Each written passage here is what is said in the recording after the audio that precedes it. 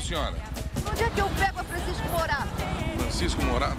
E a senhora tá longe, hein? A senhora não vai conseguir sozinha, não. Acho bom a senhora desistir. De jeito nenhum. Eu quero visitar minha neta. Eu só não sei mais andar aqui na cidade. Bom, a barriga pode esperar. Pessoal, vamos.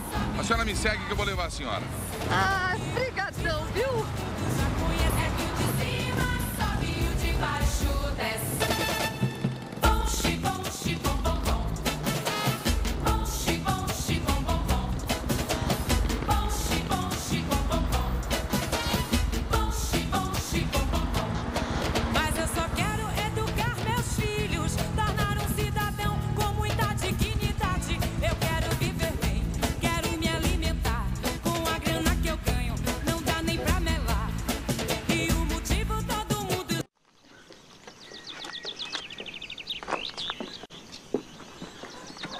Foi desastre.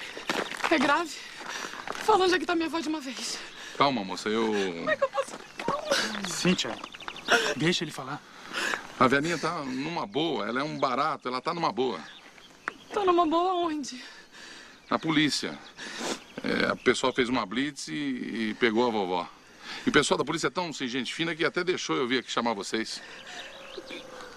O que que tá acontecendo? Eu, eu não tô entendendo. O que que aconteceu? Ela pegou aquela barca lá, pôs na rua e, e tá guiando sem documento e o carro nem placa tem. Então a polícia teve que detê-la. Só isso? Só isso, a vovó é um barato, a velhinha é sensacional e pediu que eu viesse buscá-los. O que ela tava fazendo com o carro do meu avô? Ela vinha visitá-los, aí pegaram na rua e ela aprontou esse fuzuê todo aí. Bom, esse posto policial é da BR, não é? Da BR. Então vamos lá, gente. Eu vou... Eu vou pegar minha bolsa. Vai, vai lá. Eu também. Obrigado por ter vindo. Que é isso? Fala.